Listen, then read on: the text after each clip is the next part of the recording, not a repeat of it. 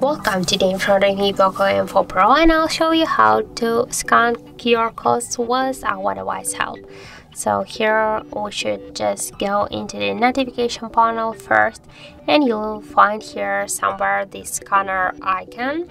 Just in my case it's here, click once on the scanner icon, uh, allow here all the permissions.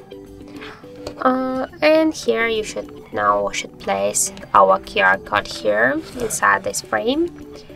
And wait a second and here you can see we got the result.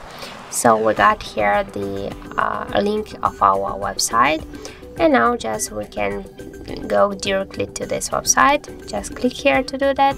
And as can you see that's the link of the wikipedia. As can you see everything done is good. So that's it. Thank you for watching. That how to scan QR codes with our device help. And if you find this video helpful don't forget to leave a like comment and to subscribe our channel